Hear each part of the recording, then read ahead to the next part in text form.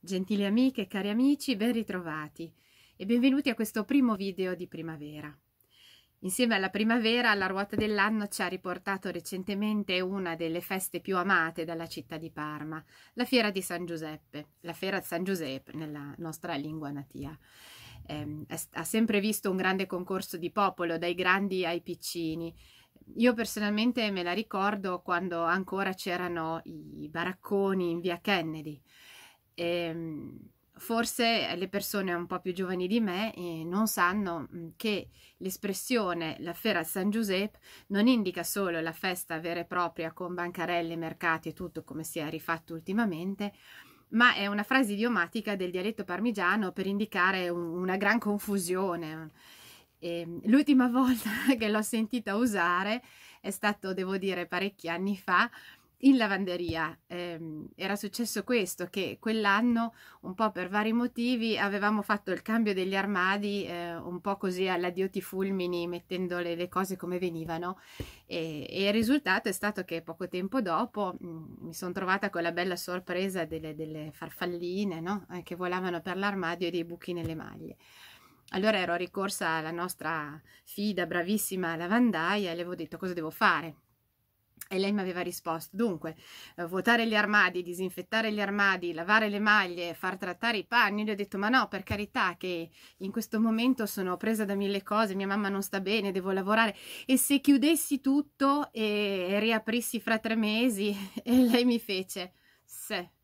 E gli ho detto, perché? Che cosa trovo? E lei, la Fiera San Giuseppe. Ecco, e questa è stata l'ultima occasione in cui l'ho sentito usare in questo significato.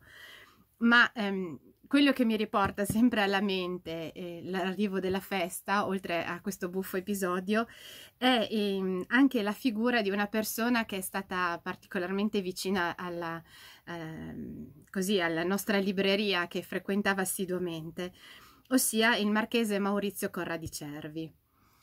E il marchese Maurizio era una persona di grandissima cultura, eh, si occupava di tutto, lui era pianista ed è stato archivista ehm, anche presso il conservatorio, ha scritto la cronologia degli spettacoli del Teatro Regio, eh, era archeologo, ed è stato uno dei fondatori del, del, centro di studi preistorici dell'Emilia Occidentale e ha lasciato tanti scritti di archeologia. Lui era laureato in topografia. E ehm, era laureato anche in giurisprudenza, a dire la verità, ma più per volere della famiglia che per suo um, interesse personale. Um, pianista, um, librettista, ha scritto un libretto per uh, Ferrari Trecate, e, letterato e, e, anche autore eh, di poesie e di un testo teatrale in dialetto parmigiano un bel dialetto davvero. Eh, il volume è appunto La Fera San Giuseppe si tratta di tre quadri storici in dialetto parmigiano.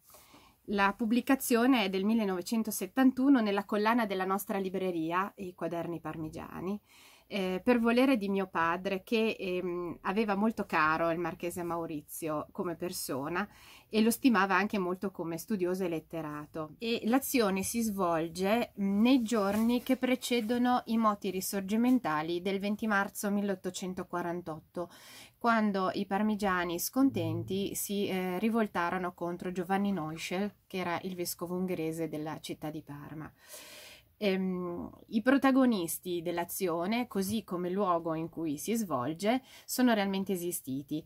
Eh, l'ambientazione è infatti l'osteria di Giuseppe Tamagni, detto il Monché, eh, il soprannome è abbastanza esplicito per il fatto che appunto non aveva le mani, che si trovava in Borgo San Moderanno L'osteria ebbe vita lunga, più di 70 anni, era, il proprietario era il padre eh, di Giuseppe Tamagni, era il fondatore, insomma era stato il padre di Giuseppe Tamagni. E, mh, mm, scomparve quando ehm, eh, durante la eh, bonifica dell'oltretorrente ehm, vennero abbattuti le case dei borghi come appunto Borgo San Moderanno, Borgo delle Carre, Borgo dei Minnelli. I protagonisti sono appunto il Monchen, Giuseppe Tamagni, suo fratello che era Don Marco Tamagni, canonico della cattedrale, appartenente a quel gruppo di ehm, religiosi ehm, attivi che presero fattivamente parte ai moti risorgimentali.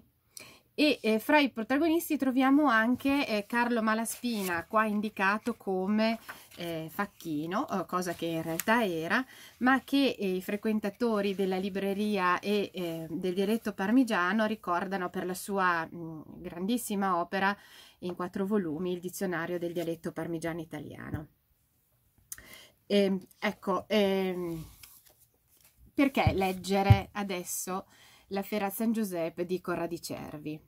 Beh, insomma, primo um, mi ricordo alla persona che eh, ha lasciato veramente tante testimonianze di cultura in questa città, apparteneva a quella generazione di, di, parmi, di, di parmigiani mh, colti e amanti eh, della storia del luogo, eh, dei loro cittadini, del, delle bellezze della loro città, una generazione che purtroppo si è persa ormai già da qualche anno. Eh, secondo, per il piacere di leggere un'opera interessante dedicata a un periodo di cui tutto sommato noi non parliamo spessissimo. Eh, il periodo dei moti fra il 20 e il 48 l'unità d'Italia non è tra i più considerati sotto questo aspetto. Eh, il piacere inoltre di leggere un bel dialetto parmigiano in prosa, perché se sono davvero tante le opere eh, anche di spessore in poesia, mancano quelle in cui invece si, si, può godere del dialetto parmigiano così discorsivamente. È pur sempre un'opera teatrale, ma comunque i dialoghi e le descrizioni e quant'altro sono fatti in prosa. Il volume contiene una seconda opera dialettale del Corradi Cervi, al generale Mossetta, bozzetto storico popolare in dialetto parmigiano. Anche qui la scelta um, del marchese Maurizio è particolare. E, um, Giuseppe Bussandri, il protagonista dell'episodio, eh, soprannominato poi generale, eh, fu uh, la guida eh, dei rivoltosi che parteciparono alle prime insorgenze locali contro l'occupazione napoleonica. Questo è un altro episodio di cui si parla realmente poco. Le insorgenze mh, emiliane, in particolare parmigiane e modenesi contro l'occupazione napoleonica, eh, sono un argomento davvero oh, poco trattato. E bisognerebbe ritornarci sopra, magari ne avremo l'occasione più avanti. E, ehm, Bussandri eh, partecipò ai movimenti del 1805 ma fu poi catturato e fucilato nel 1806 a poco più di 40 anni. Eh, vivono ancora i suoi discendenti e eh, recentemente, ehm, qualche decennio fa intendo dire, la Gazzetta ospitò una lettera eh, del discendente che in un breve quadro ricordava il suavo protagonista dell'episodio. Dunque io con questo eh, termino così eh, la proposta della lettura di oggi. Per chi volesse approfondire ehm, così la storia delle osterie e anche il ruolo che hanno avuto nei vari moti rivoluzionari, esiste il delizioso volume di ehm, Emanuelli, di Aldo Emanuelli, Le osterie parmigiane, che ha avuto diverse edizioni e graziosissimo, piacevolissimo da leggere, così che ci regala un quadro di questa Parma dei primi del Novecento, perché la prima edizione del volume è del 1921, se non sbaglio, la seconda del 31. E ci regala uno spaccato di questa Parma di un secolo fa che sembra così vicina ma anche tanto tanto lontana.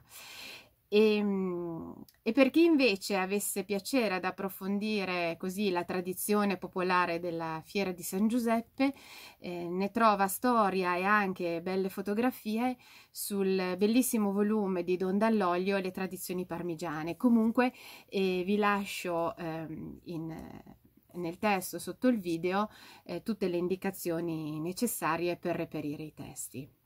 Vi ringrazio, vi saluto e buon inizio di nuova stagione. Alla prossima!